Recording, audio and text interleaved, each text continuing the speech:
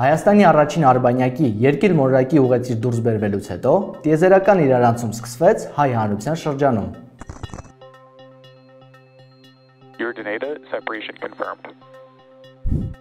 Մայիսի 25-ին երկրի ուղեցիր դուրս բերվելուց հետո ոչ միանշանակ կարծիքներ ու պնդումներ հնչեցին արբանյակի պատկանելիության հնարավորությունների եւ նպատակահարմարության մասին։ Տրանսպորտի եւ կապի նախարարության կապի եւ տեղեկատվայնացման վարչության նախկին պետ Սուրեն Պետրոսյանը Արբանյակը բնութագրեց որպես դարի բլեֆ։ Այս Արբանյակը ոչ այլ ինչ է, քան քաղաքական եւ ներքին եւ հասարակության ներքին սպառման համար ձևորված միֆ։ Այս Արբանյակը որևիցե խնդիր լուծել չի կարող։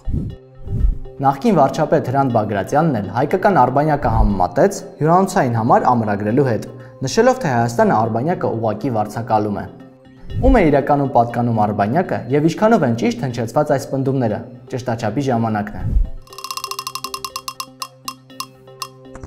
Ողջույն, ես Հայկն եմ, Civilnet-ի փաստերի ստուգման թիմից, Civilnet Check-ից։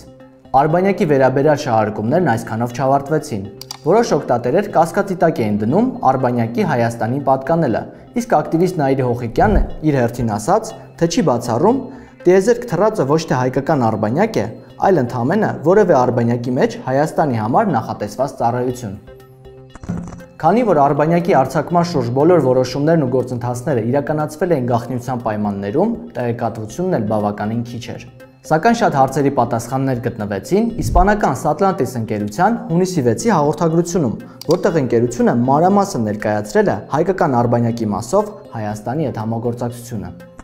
Հենց այս ընկերությունն է արտադրել Ուրդանետա կոչվող արբանյակը, որը հետագայում վերանվանվել է Armsat 1։ Հաղորդագրությունում մասնավորապես նշվում է, որ 8 ամիս տևած աներևակայելի արագ գործընթացի շնորհիվ համաձայնագիր է կնքվել հայկական պետական Գեոկոսմոս ընկերության հետ, որին էլ տրամադրվելու է երկրի դիտման ամբողջական համակարգը։ Ընկերության տնօրեն Ժան-Ժակ Դորդեյնը ասել է, որ նրանք հպարտ են Հայաստանին փոխանցել Armsat 1 անունով արբանյակը, որը Հայաստանի ռազմավարության առաջին արբանյակն է եւ որ ընկերությունը կաջակցի Հայաստանի կառավարության որոշումներին, ստեղծելով աշխատատեղեր, տաղանդներ եւ արտադրանք։ Այսպիսով, Արբանյակի մասին հնչեցված պնդումները, թե այն չի պատկանում Հայաստանին, միֆ է կամ վարձակալված, մենք համարում ենք սխալ։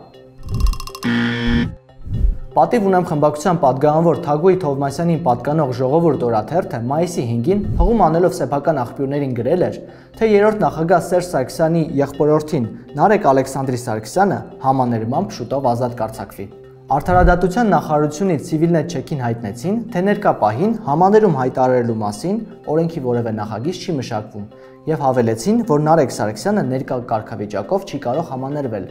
Պատճառն այն է, որ նրա վերաբերյալ առաջին Ատյանի դատարանի դատավճիռը բողոքարկվել է նրա պաշտպանների կողմից վերաքննիչ դատարանում եւ դեռ օրինական ուժի մեջ չի մտել։